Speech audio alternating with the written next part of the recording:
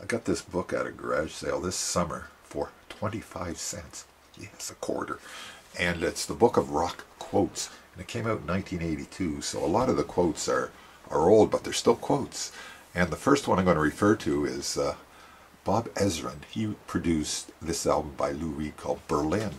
And he says, quote, All right, wrap up this turkey before I puke. I don't think he had a very good uh, impression of this album as he was doing it because this is a downright depressing album. I mean, really. I uh, listened to it again today after, I don't know, maybe 20 years, and it's still damn right depressing. But I do like the album. And you don't put it on to feel happy.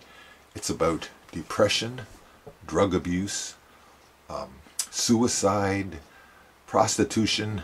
I mean, this album has a little bit of everything that's put you in a down mo- mode, but I still like it.